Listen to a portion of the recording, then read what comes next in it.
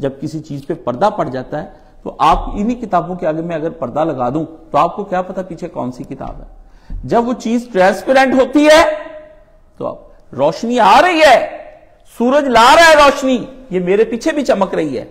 लेकिन आप इसके आगे पर्दे डाल दें, रोशनी आनी बंद हो जाएगी। तो वो पर्दे किसने डाले? मैंने। रोशनी फितरतन आ रही है। कुरान का की हिकमत फितरतन कुरान पढ़ने वाले पर आती है। लेकिन कुरान पढ़ने वाला जिस जहन के साथ उसको पढ़ रहा होता है, वो उसके ऊपर पर्दे डाल देता है। तो उसके साथ पर्दे डाल देता है। इसाले स्वाब के लिए पढ़ रहा है। काशिफ साहब ने कहा, इसलिए पढ़ रहा है। तलावत का डेली आदि है। डेली आदत बना ली है। अब तलावत के बगैर इसको चैन नहीं आता, वो कर लेता है तलावत। मुर्दे बख्शवाने के लिए। हाँ जी? दम दरूद करने के लिए भी रोज़ाना सूरत तगाबुन 116 बार पढ़नी जादू खत्म हो जाएगा। इसके लिए पढ़ रहा है। ये हिकमत के हिजाब जब तक आप नहीं उठाएँगे तो आप तबाह हो जाएँगे। कुरान मजीद ने हिकमत के एतबार से, इलम सीखने के एतबार से तीन ग्रोह बन गए। कुरान मजीद में ये जो आयतें हैं, जिसके बारे में अल्लाह ताला ने बयान किया वो आज आयत आपको समझानी है और उस आयत के अंदर से आप देखें कि अल्लाह ताला क्या बयान फरमाते हैं। अल्लाह ताला ने उन आयात के अंदर क्या बताया कि ए, ए दुआ की ना हत इब्राहिम ने। तो उसमें उन्होंने ये यही कहा कि अल्लाह हम तुझसे ये चाहते हैं कि तू हमारे में अंदर वो रसूल भेज जो रसूल हमें आकर के क्या सिखाए? यतलू अलहिम आयाती यही मैंने आपको सुनाया था ना, कि वो आयतों की तलावत करे और वो आके हमको समझाए कि ये, इसके अंदर हमने क्या कुरान मजीद ने बयान किया। अल्लाह ताला ने कहा, ठीक है। फिर आगे आया, आयाती वयुल्लिमुल किताब वल हिकमा। अल्लाह ताला ने ये भी उनकी बात सुन ली कि ठीक है, फिर भाई आप अगर ये चाहते तो ये भी हम आपको अता कर देंगे। अब जब ये कुरान मजीद की आयतें आती हैं तो इसमें आप ये देखें। कि उनके अंदर अल्लाह पाक ने कहा, रसूल इज़ है, कि अल्लाह ने फरमाया, लकद मन अल्लाह हो अल्लाह ने मोमनों पर किया एक बहुत बड़ा एहसान। क्या किया? ना कुरान मजीद में आता है कि हमने रोटी दी कि तुम्हें एहसान किया। ना खलक करके आया। ना कोई बात। अल्लाह ने सिर्फ़ नबी पाक का बताया कि मैंने तुम मोमिन पर एक एहसान किया। मोमिन के अंदर हर वो आदमी जो रसूलुल्लाह को मान जाए, वो आता है। अल्लाह कहता है, मैं नबी ना ना देता तुम लोगों को। तुम तुम किसी खेत की मूली छोड़ो, जानवरों से भी बदतर हो जाते अच्छा लकद मन अल्लाह ने मोमिनों पर किया एक एहसान। मोमिन पर किया काफरों पे एहसान नहीं किया, क्योंकि काफर मानते नहीं एहसान।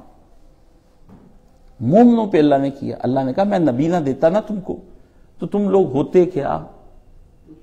आपने ये बात पूछनी है ना तो फिर इसके लिए आपको वो तकरीर छोटी सी है, चार लाइनों की तकरीर है, सिर्फ़ चार लाइनों की। नजाशी के दरबार में जाफ़र तैयार ने किया कि जा, अगर रसूलुल्लाह ना आते तो हम क्या थे?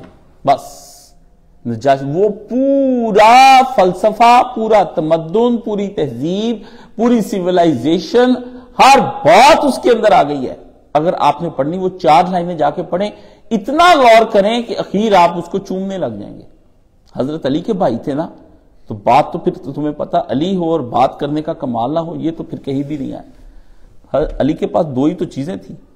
एक आप जब शुजात के लिए निकलते थे तो फिर कोई नांदी ना तूफ़ान, उसको रोकेगा कौन? और दूसरा, बात जब करनी तो पूरी हिकमत मौलाना साहब की बातें आप सुनते हैं तो आप कहते हैं दरिया ही बहता जाता है इलम का, दिल करता है सुनते जाएँ। तो जो हो ही इसका भी इमाम मौलवी इसाक का होगा क्या वो चीज़? मौला मदूदी लिखते हैं तो लोग कहते हैं, वाह, तहरीर का खीर कर दिया। मगर जब अली बोलता होगा तो क्या होता होगा? अब भाई है ये अली का। तो गुफ्तगु जहाँ भी आला शानदार इस्लाम के महासन की की है ना, जब कभी हाशमी खून में से अली बोले हैं, अबू तालब की औलाद बोली तो कमाल कर गया। अबू तालब की औलाद कहीं बोलती है, कहीं जंग लड़ती है, कहीं ठहर जाती है, कहीं सुलह करती है। ये उसी का कमाल हासिल है, ये अभी आपको बाकियों का भी नहीं हुआ। समझेंगे ना? मान लें, नबी की औलाद का, अबू तालब के बच्चों का मान लें, अच्छे रह जाएँगे। नहीं मानेंगे तो पहले कौन सा इतनी दुनिया नहीं मानती तो उनका क्या बिगड़ गया? हाँ जी, मान लें। फरमाया, इज़ बासा फीहिम रसूलम मिन अनफुसिहिम। एक तो ये अल्लाह ने किया कि इन्हीं में से एक रसूल मबूस किया। इन्हीं में से। बाहर से रसूल लाकर मुसलती किया गया। जबान इनकी, उसकी पूरी उम्र इनके दरमियान में गुजरी। ये इसके, इनके सामने वो जवान हुआ। कोई ऐब, कोई उसके अंदर कोई बुरी चीज़, कोई शराब, कोई जना, कोई तोहमत। कोई नबी सलाम पर कोई तोहमत, कोई चीज़ थी। कोई माली करप्शन, कोई जिनसी करप्शन नबी ने की हो। यह नबी सलाम पहले से कोई तैयारी कर रहे थे फलसफा बयान कर रहे थे। ऐसा भी कुछ नहीं है। कुछ नहीं। एक इंतहाई सादा आदमी जिसका रहना, सहना पाक, पकीजा और फितरत वाला, जिसकी फितरत मसख नहीं हुई थी, जो इन्हीं के दरमियान रहता था और घुप अंधेरे के अंदर जब वो नबी नहीं भी था ना, तब भी वो रोशन चिराग की तरह फिरता था। और लोग उसके सच्चे और ईमानदार होने की कस्में खाते थे। अरब जैसा माशरा जहाँ ट्रेडिंग बहुत ज़बरदस्त किस्म की थी कुरैश की। उस ट्रेडिंग में नबी सलाम का ऑनेस्ट होना और ट्रू पर्सन होना, सच्चा और ईमानदार होना, यही दो चीज़ें हैं। जिस भी आदमी ने कारोबार करना है, वो दो चीज़ें ये अपना ले और इस्तकामत से बैठा रहे। आने वाले दिनों में टाइकन है वो। धोखे से कुछ लोग चढ़ जाते हैं अचानक फिर गिरते भी बहुत बुरे हैं। सात नस्लों तक किसी आदमी ने अपनी औलाद को रिजक दे के जाना है ना कि मैं सात नस्लों तक अपनी औलाद को खुशहाली कर जाऊँ। तो ये इस तरह का ईमानदारी और सादकियत के साथ काम करे, जो दिखाया वो बताए और किसी का पैसा ना मारे। समझ गए? वो दे। तो फरमाया, हमने उनके अंदर रसूल भेजा, मिन अनफुसिहिम, जो उन्हीं के अंदर का अरब था, जो उन्हीं के कुरैश का था, उनका ही हाशमी खून था वो। वो अपने आप को देख लें और उसको देख लें। हम्म? वो अपने आप को देखें, वो उस माशरे में रहते हैं और तुम लोग गंदे थे। वो दरमियान में एक सच्चा था साफ़ सुथरा आदमी। देखो, माशरा एक है, फिजा एक है, शाही का जहाँ और है और किर्गिज का जहाँ और। एक ही माशरे में अल्लाह ने कहा, रह रहे थे तुम लोग। फिर तुम्ही में से एक को निकाला। देखो कैसी अजीब बात अल्लाह ने इंतखाब किया। यतलु अलहिम आयाती ही वो उनके ऊपर क्या करता है? आयतें अल्लाह तला की पढ़कर उनको सुनाता है। वह जकीम उनको पाक करता है। वह यू अल्लिमुल किताबा, वल हिकमता, उनको किताब और हिकमत की तालीम देता है। वह इन कानूमिन कबल लफी जलालमुबीन ये उससे पहले इतनी वादे गुमराही थी कि उस पर दलील देने की ज़रूरत नहीं थी। उसकी दलील देने की ज़रूरत नहीं थी। सूरज सामने हो तो इसकी दलील देने की ज़रूरत नहीं है। भाई, सूरज कहाँ है? देख लो। अल्लाह कहता है, इनसे पूछते, गुमराही कहाँ है? तो ये तुम लोगों की अपनी हालत ही बताती कि हम गुमराह हैं। हम्म? अब यहाँ पर हुआ क्या? कुछ लोगों ने जब कुरान मजीद को पढ़ा, सुना नबी से तो उम्मत के अंदर तीन ग्रोह हो गए। एक ग्रोह वो हो गया जो क्या हुआ? यतलु अलहिम आयाती ही नबी से ये बात ले ली। नबी सारे काम करता है ये क्या करते हैं? एक ग्रुप आ गया। वो कुरान मजीद की तलीम, तदब्बर, तलीम, ये इस पर चल पड़ा। क्या हुआ? हाफजे कुरान बन गए, तलावते करने लगे। ये नबी की एक सिफत है, हाफजे कुरान होना। मौके पर बच्चा खड़ा कर देते जी, सुनाओ, आयत नंबर 16 रकू नंबर चार, वो बच्चा पढ़ना शुरू हो जाता है। बाद में बच्चे के सामने आयत कोई और पढ़ते हैं, वो बच्चा बताता है कि सूरत नंबर फला तो आयत नंबर इतनी। मैं कहा, पैसे ही पैसे पैसे ही पैसे। आप भी खुश, मेरे बच्चे ने याद हो गया। मोजे हो रहे दुनिया उत्ते। एक आए ये लोग, इन्होंने फिर आयतें ही पढ़नी शुरू कर दी। हाँ जी? ये इस बात के अमीन हो गए। फिर आगे दूसरे लोग वयुअल किताब। ये आगे फुकहा कराम और हदीस के सुन्नत के और हदीस को मुकम्मल इकट्ठा करने वाले लोग मुहदसी इन्होंने बेखीर कर दी भाईजान। इन्होंने आसार को जमा कर, उन पर तनकीद कर, मुजाहिदीन बनकर इन्होंने बिदत और तहरीफ इस्लाम का हर दरवाज़ा बंद कर दिया। और हर उस दरवाजे को इन्होंने देखा कि पिछली मिलतें कैसे डूबी थी। हम कैसे डूब सकते हैं? तो उनके तजर्बात की रोशनी में इन्होंने हर बिदत को बंद कर दिया। और पूरा तकवा इख्तियार किया। अनथक मेहनत। ठीक है? जाती राय और क्यास के खिलाफ इजतहाद किया। तुम कैसे कहते मैं ये समझता हूँ। नबी ने यह कहा, इसलिए तुम ये अपनी जाती राय को परे करो। ये मुहदसी ने काम किया। और फलसफे को देखा भी नहीं। ऐसे अपने नबी में फना फिर रसूल हुए कि आला दर्जे पा गए। और अपने नबी के काम को, नबी की बात को ऐसा महफूज कर दिया, उन्होंने शानदार काम किया कि पुरानी सारी उम्मतें इनकी गर्द और खाक को भी नहीं पहुँच सकती, इतनी दूर तक चले गई ये मुहदसी इमाम बुखारी कहाँ से चले? कहाँ तक पहुँचे? कोई निशापुर से निकला, कोई इधर से निकला, कोई उधर से निकला। फिर गए, आप मेरे साथ शहर से 10 किलोमीटर बाहर नहीं जाते, मैं अभी इज्तम के लिए बुलाता हूँ तो आपका दिल कांपना शुरू हो जाता है? सौ बहाने बनाते हैं। और जब बहाने शुरू हो जाते हैं तो मैं सुन सुन के नबी पाक की तरह इजाज़त देता रहता हूँ, क्योंकि मुनाफक ही बहाने बनाता है। और कोई नहीं बनाता। गजवा तबूक पे सिर्फ़ मुनाफकों ने बहाने बनाए, किसी और ने बनाए। वो जो तीन रह गए, वो तो किसी वजह से थे। दिल दहल जाते हैं आपके, लेकिन उन्होंने अपनी जवानियाँ जाया की। दौलत तो उन्होंने अपने बापों की मिरासें ली, रास्ते लाखों अशरफियाँ सोने की। दो दो तीन तीन चार चार तोले नहीं थोड़े को दे होंगे सोने की लाखों शरफियाँ वो पौंडों के अंदर वो दे गए। और अंधे हो गए नबी सलाम की मोहब्बत पे। फिर फिर के ना नबीना हो जाते थे। आँखें खत्म हो जाती थी। पेट साथ लग जाने। कई कई दिन रोटी ना खानी। भूखे रहना मुहदसी में। किसी को बताना ही ना मैं रोटी खानी है।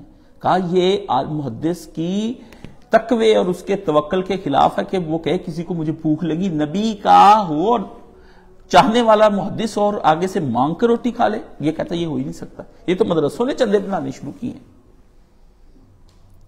आलम दीन जब मुहदसिन बैठाते थे अपनी मजलिस में तो कहते, बैठ जाओ। आता तालब इल्म साजी में हदीस पढ़ना चाहता हूँ। कहते, लिखो। इस इल्म हदीस के लिए सख्त किस्म की मुफलसी काटनी पड़ेगी, एक बात। इस इल्म हदीस के लिए तुम्हें सख्त किस्म के पैदल सफ़र करने होंगे, दूसरी बात। कर सकते हो तो इस राह में आ जाओ, वरना निकलो यहाँ से। वरना निकलो यहाँ से। ये तुम नहीं काम कर सकते। इसलिए सफ़र किए, दौलत कुर्बान की, उम्र सरफ की, जान दे दी, जवानी दे दी, बुढ़ापा नज़र कर दिया उलादों की परवाह नहीं की, और अपनी जीनियस आफजे उन्होंने, आईक्यू लेवल उनके ऐसे से ज़बरदस्त है। आइंस्टाइन शह क्या है? तो ये फिर दूसरा ग्रोह मुहदसिन का आया। एक कुर्रा का आ गया, दूसरा मुहदसिन का आ गया। वो जो कुर्रा थे, उनके अंदर से भी दो नंबर लोग निकल आए। ये तकवे, टोपियाँ, माथे पे मेहराब, सारे कुरान पढ़ने वाले। अल्लाह के नबी ने कहा, जब तुम उनको देखोगे तो अपनी नमाजों को हल्का पाओगे। तुम कहोगे, हमने क्या नमाज़ पढ़ी? नमाज़ उससे पढ़ी। वो कुरान बात बात पर तुमको सुनाएँगे। तागूत की बातें तुमको सुनाएँगे। तुम कहोगे, ये जो इससे दलाल करता है, मैं क्या करता हूँ? लेकिन फरमाया, वो दीन से निकल जाएँगे, वो खवारिज होंगे। वो पाकिस्तान के वो टीटीपी होगी, जिसने मुल्क पूरा बर्बाद करके रख दिया आप उनका कुरान ना सुने। समझ गए? आप उनको ये ना कहें, ये ये अमेरिका के खिलाफ है। छोड़े! जो मुल्क को हला के रख दे वो लोग क्या है? फसाद फिलर्स करने वाले। आलिम की आँख होती कि ये खारजियत है। ये नासवियत है, ये राफजियत है, ये शीयत है, ये ब्रेलवियत, ये देवबंदियत। जिस आलिम की आँख ना पहचान सके, वो आलिम ही नहीं है। फ़र्क कर दो उसको। जो हिस्सा हो जाए किसी सियासी दीनी धड़े का, वो फारक हो गया। ये दूसरे नंबर के वो लोग हैं जिन्होंने उस वक्त नबी की किताब को सीख लिया। फिर एक तीसरा ग्रोह आया, वह युजकी हिम पाक करने वाला ग्रोह आया। पाक करने वाला ग्रोह। उसमें लोग आपकी तरबियत करने लगे। तो उसमें से नामवर लोग आ गए, सूफिया। एक ने ये पकड़ लिया नबी का। वो आपको पीर बन गए। अब वो पीर के नाम पर आपको लूटते हैं पूरे मुल्क के अंदर। कुछ भी नहीं है। ये पाक करने वाला ग्रोथ था। ग्रोथ सही है, पर गाड़ी इनके हाथ में गलत आ गई है, इन बेईमानों के हाथ में आ गई है। ग्रोह गलत नहीं है। ग्रोह पर कब्जा जिनका हो गया, वो गलत है। समझ गए? जैसे सियासत कौन करते थे? अंबिया। क्या ये अंबिया सिफत सियासतदान है? अल्लाह ने इसमें क्या इशारा किया कि अंबिया सिफत सियासतदानों को चुनो। नहीं ये फिर तीसरा ग्रोह आ गया। और फिर तीसरा एक ग्रोह था जिसके बारे में मैंने पिछली दफ़ा आपसे गुजारिश की कि उन्होंने फिर क्या किया? एक ग्रोह वो था जो, जो यूनान और रूम के फलसफे को और कलाम को हिकमत समझने लगे। ये फनून सारे जो मैंने पिछली दफ़ा पिछले जुम्मे के अंदर आपको गिनवाए थे पता नहीं आपको वो याद होते हैं या नहीं होते फिर आप लोगों को हर बात तो आपको दोबारा दोबारा रिपीट करनी पड़ती। तो वो लोग जो कहते हैं सोशियोलॉजी पढ़े, इल्म सियासत पढ़े पॉलिटिकल साइंस पढ़े साइकोलॉजी पढ़े सोशल साइंसेस के सारे सब्जेक्ट्स तजारत, ये सारी चीज़ें जो है वो हम इसमें से पढ़े। ये वो लोग, आपने उन लोगों को देखा, आपने उसको दीन समझ लिया कुछ लोग ये पढ़ने लग गए। तो इनमें से तीनों ग्रोहों ने पूरी हिकमत हासिल नहीं की। आप दुनिया के सारे अलूम जो हैं, ये फलसफा यूनान के हैं। तो तीनों ने हासिल नहीं की। तो पहले जो कुरान मजीद की सिर्फ़ तलावतों पे ही लग गए। उनकी तजवीर उनकी किरात बात बात पे कुरान आपको सुनाना, है जी? वो सुनाने लग गए। दूसरे मुहदसिन थे। तीसरे, वो जो सूफिया हुए। और चौथे, वो बाद में क्या हुए? चौथे लोग कौन से हो गए? उसके अंदर वो लोग हो गए जिन्होंने हिकमत को इस फनून को अपना दर्जा दे दिया, सोशल साइंसिस को, जिसको आज आप इलम कहते हैं।